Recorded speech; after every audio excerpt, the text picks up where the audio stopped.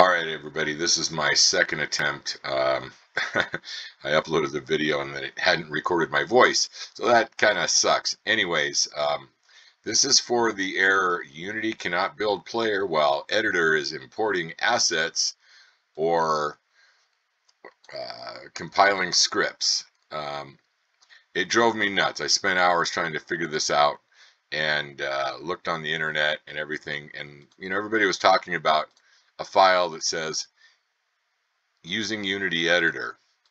And I'm I couldn't find it in any of my files and, and then I realized between the last time I built the program and this time I had been in Unity and I was like, oh, you know, I think I'll save a scene as a template file and I'll make a template.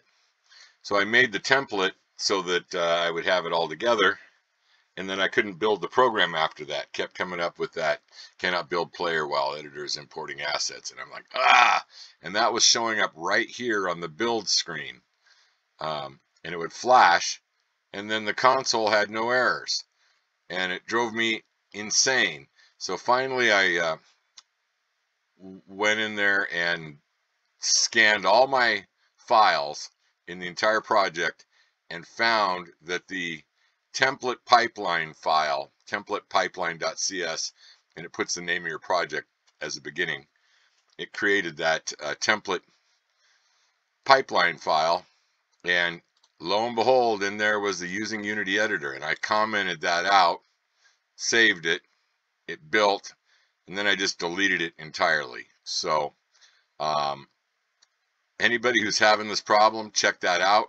It was basically because I decided, oh, I'll make a scene template, and then it created that file. Um, hopefully, this will help people from banging their head too much.